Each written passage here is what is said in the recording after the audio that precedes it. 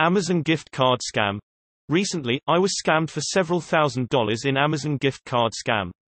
I received email from Amazon.com that several thousand worth of electronic goods will be delivered in next two days. If you did not purchase these good, please call this number.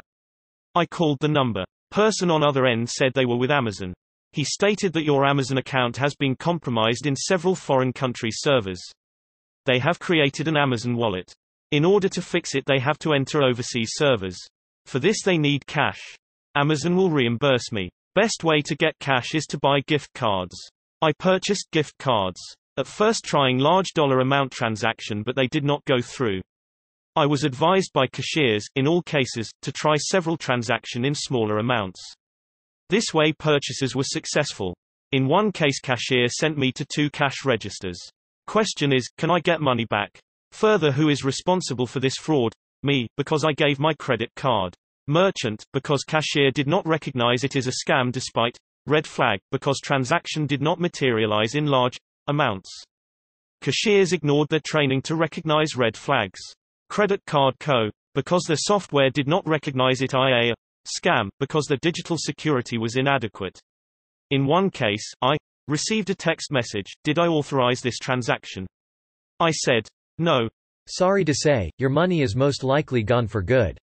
You bought the gift cards from the store yourself, in some cases. Intentionally bypassing the procedures put up by the store to prevent gift card fraud.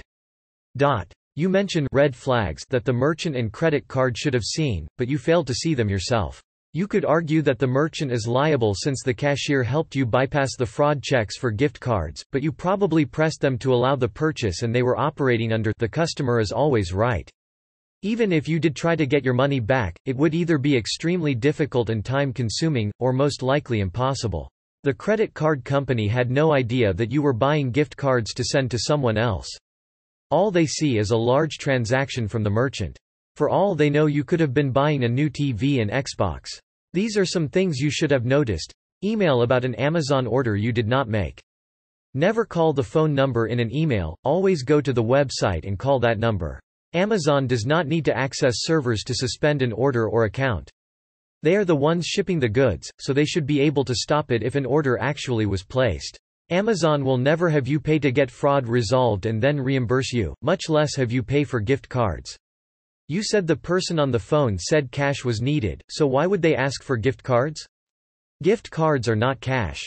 In the end, the scammer is the one responsible and you are a victim. I would mark this down as a very expensive lesson.